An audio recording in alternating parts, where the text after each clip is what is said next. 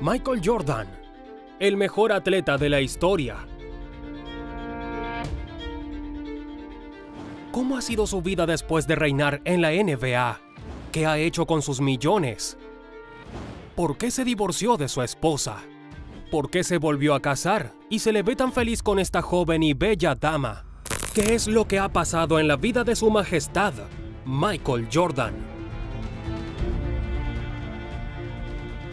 Seis anillos de la NBA no fueron suficientes, pues no solo sus campeonatos hablan por sí solos, sino una inmensa fortuna que en la actualidad sobrepasa los 2 mil millones de dólares.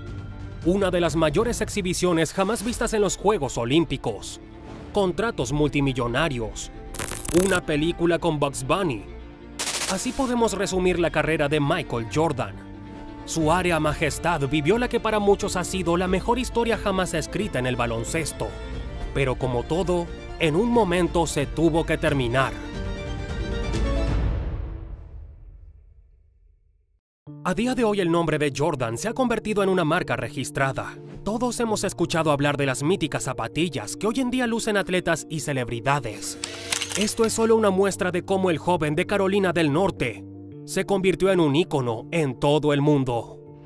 No hace falta hablar de la impactante carrera y los múltiples éxitos que consiguió Jordan en su carrera. Hoy queremos hablar un poco acerca de las historias que nadie conoce. Aquellas que tuvieron lugar después del retiro del que para muchos es el mejor basquetbolista de todos los tiempos.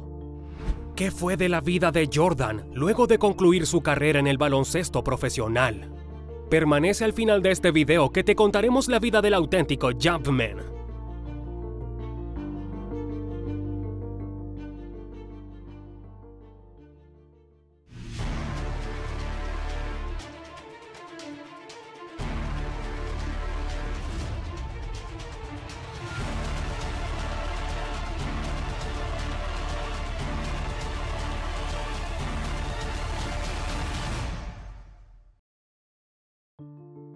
16 de abril de 2003, Wells Fargo Center, Filadelfia.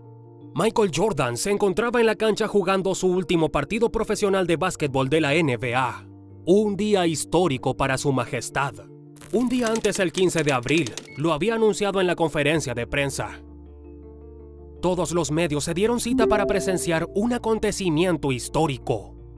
Ver jugar por última vez al rey del básquetbol.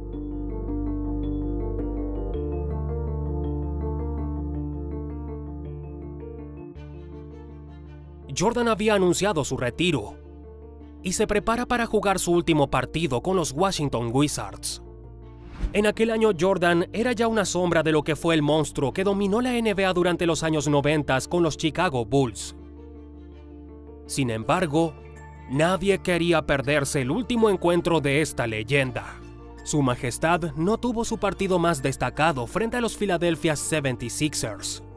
Se lo tomó con calma el veterano de 40 años jugó 28 minutos del encuentro y logró anotar 15 puntos. También registró 4 rebotes y 4 asistencias, lo cual demuestra que aún mantenía cierto nivel en su último año.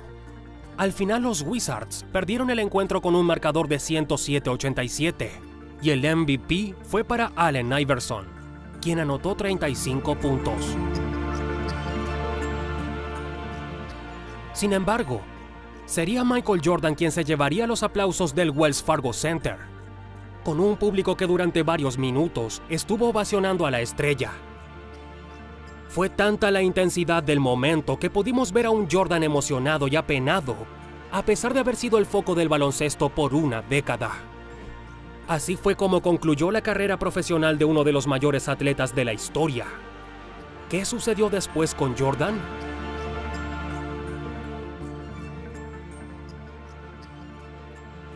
7 de mayo del 2003, Michael Jordan venía siendo presidente de operaciones en Washington Wizards, puesto que compartía con su papel como jugador del equipo. Fue una de las primeras incursiones que tuvo como empresario tras su retiro, pero no duraría más de un mes. En esta fecha, el ya exjugador de 44 años fue despedido por la directiva de los Wizards, aunque este ya contaba con muchos negocios. Dentro de la vida personal de Jordan, también vale la pena destacar sus matrimonios. Desde 1989, la estrella de baloncesto estuvo casada con Juanita Fanoy. Y no sería hasta 2002 que iniciaron los problemas. Jordan recibió en aquel año una demanda de divorcio que luego sería retirada. Sin embargo, lo peor estaba por llegar. Año 2006. Michael Jordan y Juanita Vanoy finalmente se divorcian, y la cifra que tuvo que pagar el ya exjugador rompió récords en aquella fecha. 168 millones de dólares tuvo que pagar Mike a Vanoy para sellar una separación polémica y que, según los alegatos de la prensa, tiene que ver con infidelidades por parte del ex Chicago Bulls. Tan solo un año y medio después, y de acuerdo a los relatos de Mike, este conoció a la que es su esposa actualmente, Yvette Prieto. Según cuenta la leyenda del baloncesto, se vieron por primera vez en una discoteca y desde entonces han sostenido una relación que se formalizó en 2013 y continúa a inicios del 2023. Yvette Prieto, una hermosa modelo cubana, siempre se ha mostrado reservada respecto al papel que ocupa. Es nada más y nada menos que la actual esposa de la máxima figura del básquetbol mundial. Sin embargo, se sabe que maneja las fundaciones benéficas que Mike ha creado a partir de su gran fortuna. Michael Jordan siempre aparece a su lado con una gran sonrisa.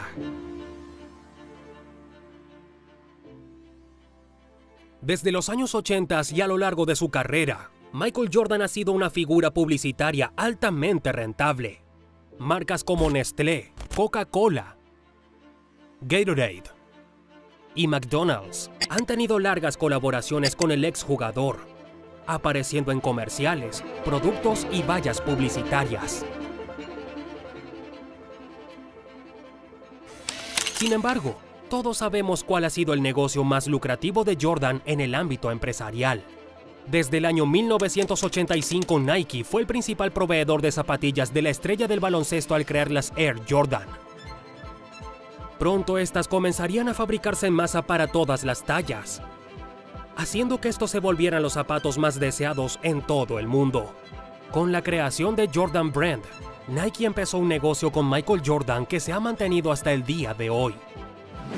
Año 2005. Michael Jordan se convirtió en propietario de las acciones de los Bobcats de Charlotte. Se trataba del regreso del astro del baloncesto a la NBA luego de su presidencia en los Wizards. No sería sino hasta el año 2010, cuando se convertiría en el accionista mayoritario y propietario del equipo. Esto al adquirir el 90% de las acciones del equipo por un valor de 275 millones de dólares. Se considera que este ha sido uno de los grandes negocios de Jordan, puesto que la firma alcanzó un valor de 1.500 millones de dólares, por lo cual el ex basquetbolista pasó a ser un auténtico multimillonario. Sería él mismo quien se encargaría de cambiar el nombre de la franquicia Charlotte Hornets, tal y como se les reconoce actualmente en la NBA. Año 2017. Michael Jordan incursiona en el mundo de las bebidas alcohólicas al crear una tequilera asociado con Jenny Buss, dueña de los Lakers. También se incluyó a los propietarios de los Bucks y los Celtics, Wes Evans, y WYC Grossbeck. Todo sucedió en una cena que tuvieron estas personalidades del baloncesto, quienes querían incursionar con un tequila de edición limitada para un mercado exclusivo. El resultado fue más que sorprendente. A día de hoy la marca Sin Coro es una de las grandes líderes del mercado del tequila. Esta empresa ha registrado unos 1.5 millones de botellas en ventas tan solo en territorio estadounidense, y se han hecho acreedora de más de 20 premios por la calidad de su tequila. Jordan no solo ha incursionado en la industria de las bebidas alcohólicas, sino que incluso ha establecido sus restaurantes. No se trata de un negocio propio, ya que su aérea majestad se ha asociado con Cornerstone Restaurant Group para lograrlo. Esto ha resultado en la creación del Michael Jordan Steakhouse. En la actualidad cuenta con cinco establecimientos que han gozado de gran éxito. De acuerdo con Mike, adora la idea de tener un lugar donde pueda controlar el ambiente y cenar con sus amigos. Además, es un buen negocio. Y ya podemos ver que este hombre no solo era un ganador en la pista, sino que lo es actualmente en los escritorios.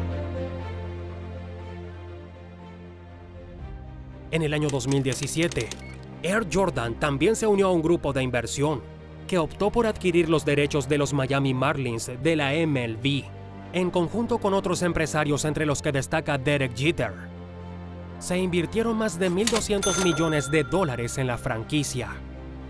Quizás este no ha sido uno de los negocios más certeros de Jordan, ya que el valor de las acciones de los Marlins no ha subido precisamente.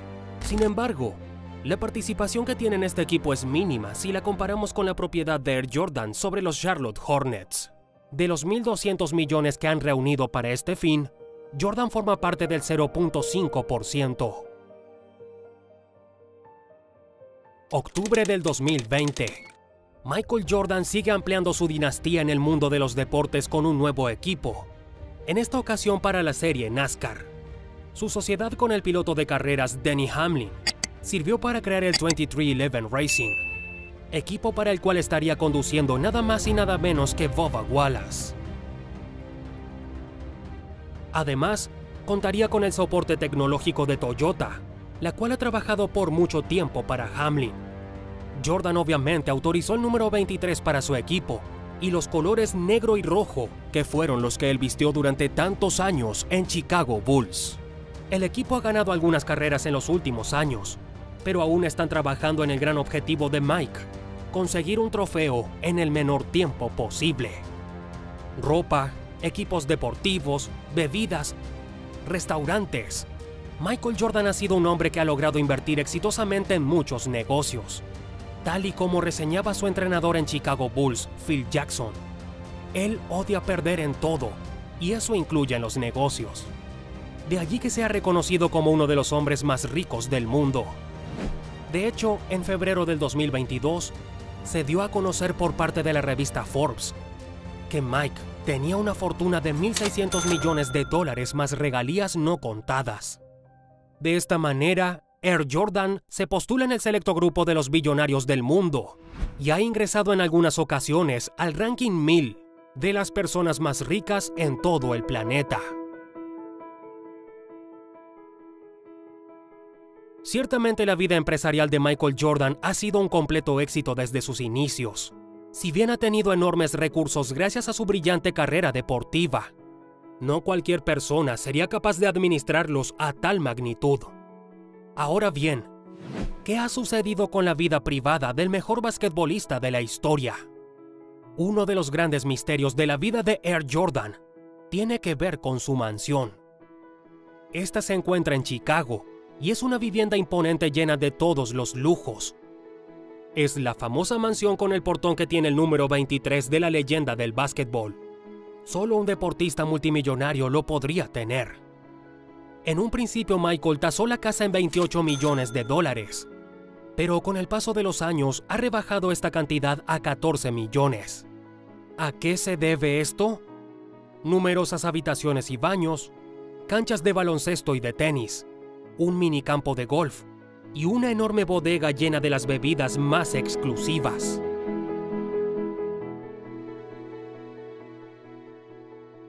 Durante la época dorada de Chicago Bulls, se sabe que este fue el centro de reuniones del equipo, por lo que seguramente esas paredes tienen más de una historia que contar. Sin embargo, no parece que haya personas interesadas en comprarla. Pues se dice que a pesar de que la mansión es hermosa, Aquí pasó la mayor parte de su tiempo lidiando con una esposa interesada, que al incrementar su fortuna solo vio el sacar provecho de su majestad. No tiene precisamente buenos recuerdos, y es por ello que su intención desde hace muchos años es deshacerse de esta propiedad. De acuerdo con los expertos, uno de los problemas de la casa es su personalización. Ha sido diseñada para satisfacer las necesidades de una superestrella del baloncesto, y no cualquier comprador encaja en ese perfil.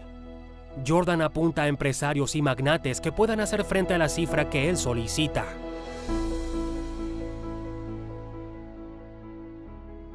Por otra parte, está la ubicación de esta casa. Se encuentra en Highland Park, y no es precisamente una zona exclusiva en la ciudad de Chicago. Actualmente Jordan continúa con una dieta rica en proteínas, no ha dejado de practicar básquetbol con habitualidad. Es apasionado del béisbol y del golf además de la música como el jazz y el blues. No pueden faltar los finos y delicados puros cubanos importados exclusivamente para él. Es aficionado a la música latina y a sus costumbres, además de la comida. Al ser su actual esposa latina, es lógico entenderlo. Simplemente Jordan vive la vida de manera tranquila y a su modo. Las regalías de la venta de su marca personal Jordan por medio de nuevos modelos de tenis por parte de Nike e indumentaria suman una fortuna que sobrepasa los 2 mil millones de dólares. ¿Qué te ha parecido la historia de Jordan luego de su retiro? Ciertamente es interesante conocer la vida de los deportistas durante sus años de gloria. Sin embargo, hay una historia que contar luego de que se produce el amargo retiro.